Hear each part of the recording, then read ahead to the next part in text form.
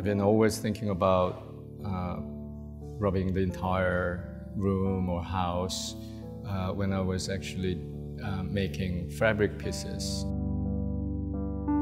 Some architectural details are very difficult to measure even with a photograph. It's hard to get a precise information about the objects. I often rubbed onto the, the actual objects uh, while I was measuring it.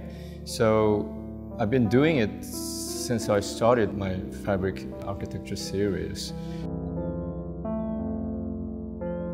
This is the first time that I'm showing my rubbing so-called drawings slash installations. For me, it's been always an ongoing project.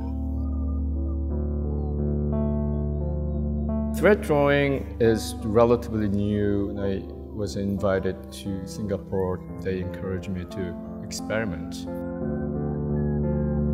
I went there, I had three weeks of experimentation and one of the materials that I tried was making drawing uh, with, with the threads. It's a material that I deal with all the time because I make things in fabric. Yeah, there are actually two Gwangju pieces. And one is graphite, and then one is also yellowish. I mean, now everybody knows I'm Korean and I'm coming from there, so I cannot really detach myself from there. I started my career in New York, so I love the energy and also diversity. Very dense place. So you can actually get a lot of work done here. So in a way, very efficient city.